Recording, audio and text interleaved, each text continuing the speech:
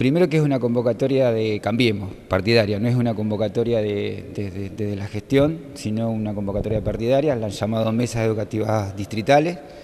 Es una convocatoria la que ha dejado, la verdad, es una acción política, partidaria concretamente, porque no estamos convocados, los gremios no hemos sido convocados, eh, los padres no han sido convocados, si no hay una lista por lo que sabemos y las que se han desarrollado han sido reuniones entre consejeros escolares, concejales y, autoridades educativas de los distritos.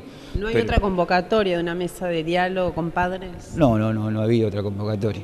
Eh, lo que, y reitero, tampoco fuimos convocados los gremios, digo, más allá de, las características que tiene quien ha convocado o no, lo que nosotros vemos que realmente estamos pidiendo la reapertura de la paritaria, estamos pidiendo desde el año pasado que se, que se convoque realmente al debate necesario que necesitamos en educación por parte de la gestión, que es Cambiemos, que es el gobierno de político con la fuerza política de Cambiemos, y bueno, la acción que ha tenido es esto es de convocar a hacer estas mesas distritales en las cuales están quedando o sea, excluidos un montón de, sectores y es una convocatoria político-partidaria, no es una convocatoria a la gestión.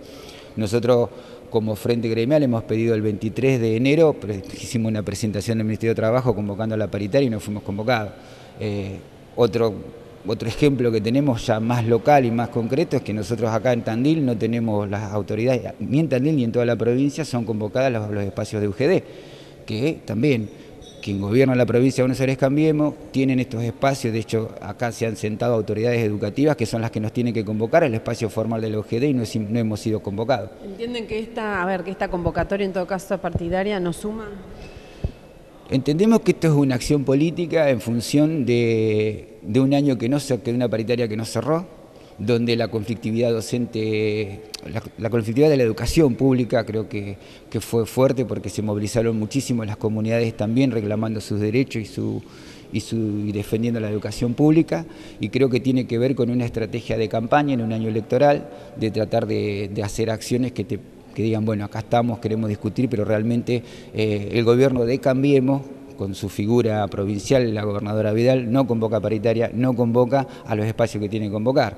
Si vamos a, lo, distrital, las autoridades educativas del distrito, reitero, no nos convocaron a los espacios que son legítimos, que son legales, que tienen resolución y que se tienen que conformar para, debatir y discutir y analizar las situaciones de cada uno de, de, los, de, los, de las escuelas del distrito, tampoco ha sido que son la UGD. Digo, acá hay una acción política en el marco de una, de una campaña que ya se largó.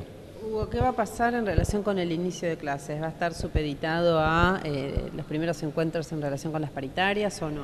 La responsabilidad del inicio del ciclo electivo la tiene la gobernadora Vidal. Nosotros, reitero, hemos pedido la reapertura de paritaria con tiempo, nos han contestado que vamos a ser convocados en febrero, fuimos al Ministerio de Trabajo la semana pasada, presentamos una carta de documento también solicitando la apertura y no tenemos respuesta.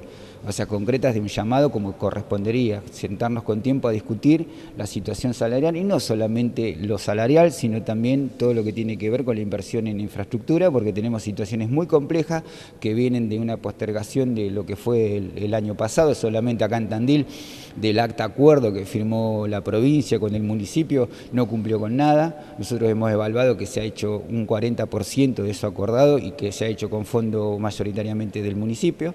Y bueno, este es el esquema en el que ellos quieren debatir. Convocan por un lado un debate como para decir somos democráticos y por otro lado no convocan a los espacios que la democracia nos garantiza. ¿no? Como para cerrar, el año pasado fue un año muy difícil, muy conflictivo. ¿Qué esperan este 2019? Nosotros siempre esperamos tener un ciclo electivo normal poder iniciar el ciclo lectivo, poder estar con nuestros alumnos y nuestras alumnas y tener los fondos necesarios para tener escuelas con, edificios dignos, con escuelas seguras y tener un salario que nos permita vivir de ese salario. Nosotros quedamos el año pasado con una paritaria que no cerró, con un 18% abajo de lo que fue el proceso inflacionario. Así que el debate va a empezar ahí, va a empezar con la reincorporación de esos puntos perdidos y mínimamente una cláusula gatillo y voy a analizar los números para este año. Pero reitero, eh, todo depende de la gobernadora Vidal y de que nos convoque y de que realmente deje lo político partidario de lado, que deje la interna o, la coyuntura electoral y que realmente nos sentemos a discutir seriamente el futuro de la educación pública en la provincia de Buenos Aires.